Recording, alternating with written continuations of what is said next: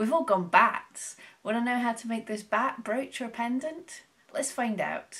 Hi, it's Pam Duthie, and it's a Thursday, so it must be another needle felting tutorial. Every Thursday I make needle felting tutorials, so if this is something you're interested in, don't forget, come back every Thursday.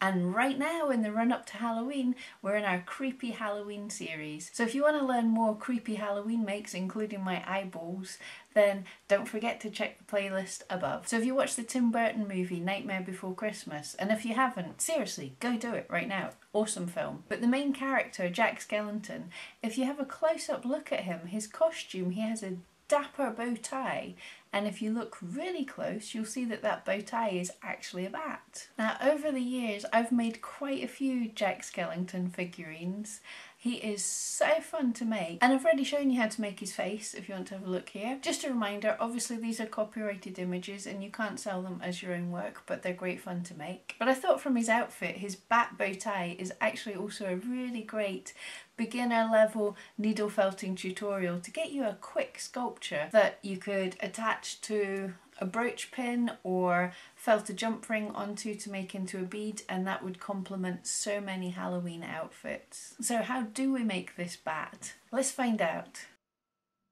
Okay, so for this little guy, what we're looking at first of all is with some black fleece, I'm forming a circular pillowy shape rather like the love heart. So if you haven't looked at that video, have a look. But basically it's going to be from the front a, a circular shape just now with rounded, flattened side on view, kind of oval from the side on. And as I'm felting it, I'm starting to see one bottom piece that one piece that's looking more like the bottom which is pointed down the way and then I'm moving on to making the ears which is away from the pointed down the way. I'm squeezing between my fingers two points up the way, as you can see. So what we're going to have is a kind of pointy love heart shape. So you just want a gentle point at the bottom and then two sharp points upwards at the top and you're just squidging between your fingers to make this shape and then felting around. Keep on thinking of the curved shape because it is a head.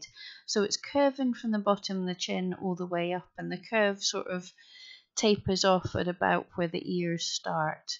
So remember, just keep your needle at right angles where you want the surface to be. Keep on felting, keep on thinking of the shape. I took a good 20 minutes to get to the stage and then we're going to go on to the eyes.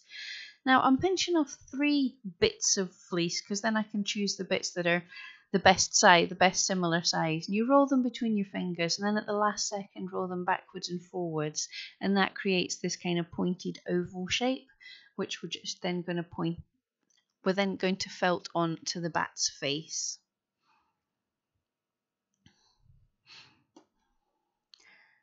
And that's that's the head pretty much done. Take as long as you need to to make this really firm though, because if it is going to be a brooch, it's going to take a bit of wear and tear really, so the firmer it is, the longer it'll last. And for the wings, I'm just taking a pipe cleaners and I'm cutting them into three different lengths the top's going to be the shortest, the middle's the longest, and then the base is the medium length, and just duplicate that for the other side. So we've got six different lengths and I'm going to fold over the ends. This just means when you're working with this, you know, once it's made, you don't have any jaggy ends of wire. They're all tucked away, so it's nice and safe for everybody. And then we just want to cover these with a bit of fleece. Now if you have a roving or a tops this is a bit easier but the bats felt easier so I've just kind of drafted out a straight line section and I'm wrapping it tightly around the pipe cleaner. Now this doesn't have to be neat at this stage, it's just to hold and I'm just giving it a couple of stabs to get it to hold and then do that with all of the all of the I was going to call them legs, but all of the bits. Now I'm just going to make a wee pattern on a bit of paper. So setting up the wings how I'm going to want them to be, which is turning these ends just down, curving them down slightly, and I'm just drawing round this as just fairly roughly. And the most important bit is just slightly down the down the gap a wee bit. I'm just basically drawing a curve to connect them up. And then I'm going to take this pattern and I'm going to cut it out on just a regular piece of acrylic felt.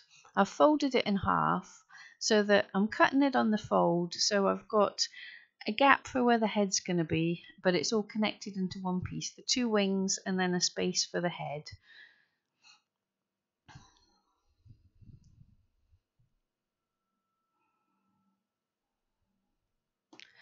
and it can be fairly rough because we're still going to do a bit of felting on this. The great thing is, even this cheap out acrylic fleece from the craft store, well, acrylic felt, it is feltable.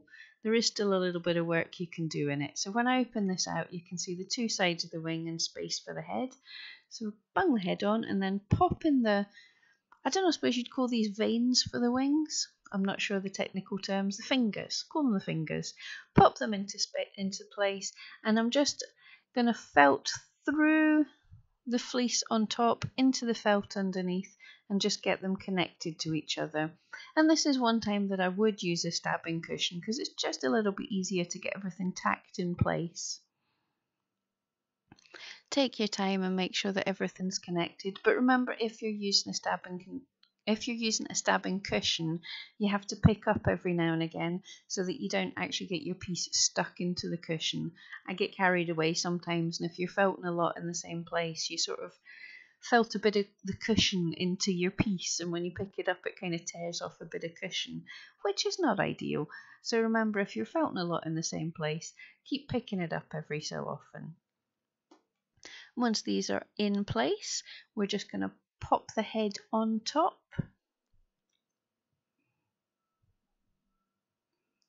Oh, tell a lie. No, I forgot what I was doing there. No, what I'm doing here is I'm just taking the very ends where the fleece is connecting to the tip of these fingers and I'm just felting it round the ends, just keeping it between my fingers so that this blends in a little bit more.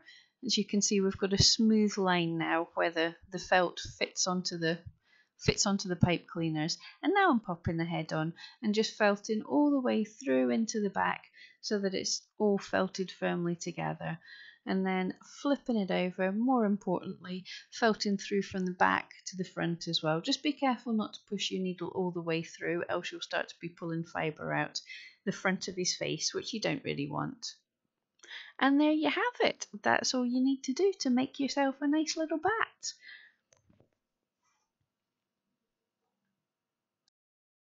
So I hope that was helpful. If you do decide to make any makes from my tutorials, please don't forget to let me see them. I love to see your work.